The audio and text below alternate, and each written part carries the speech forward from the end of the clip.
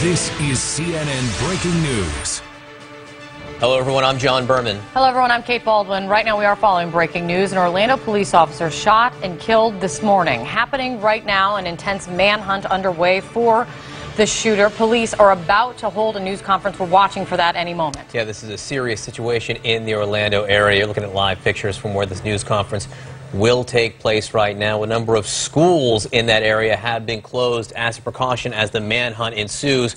CNN's Polo Sandoval is covering this for us right now. Paula, what can you tell us about this? John and at least 17 of those schools are closed right now with this massive manhunt underway in Orlando. As we wait for more details about what took place during what is now this deadly police shooting, uh, this is what we do know at this point, according to several witnesses at a local Walmart there in the city of Orlando. Uh, several witnesses reported that this uh, officer uh, tried to speak to an individual who was uh, wearing what was described as a security vest. Well, that individual then turned around, opened fire, uh, and now police officers identifying the suspect as Markeith Loyd, possibly uh, involved in some other cases that the police department has been investigating. But again, this is a man that police are now searching for. So as you may imagine, this is launching an all-out effort by local, state, federal law enforcement agencies there uh, in Florida. Already several officials sounding off and, and, and speaking out about uh, what is this tragedy that's struck the Orlando Police Department. The Orange County mayor just a few minutes ago released a statement saying that the death of any law enforcement officer is an utter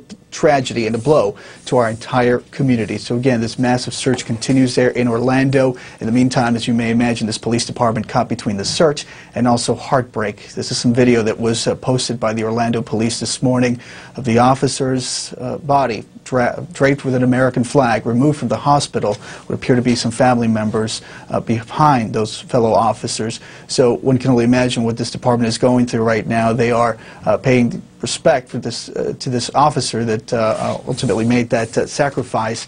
At the same time, are tasked with the duty of protecting the community and also tracking down uh, this individual considered extremely dangerous. Again, a press conference scheduled any minute now. We should get more information then, guys. So we have the identity of the man that they're looking for. Do we know? Do we know anything more about the officer who was killed?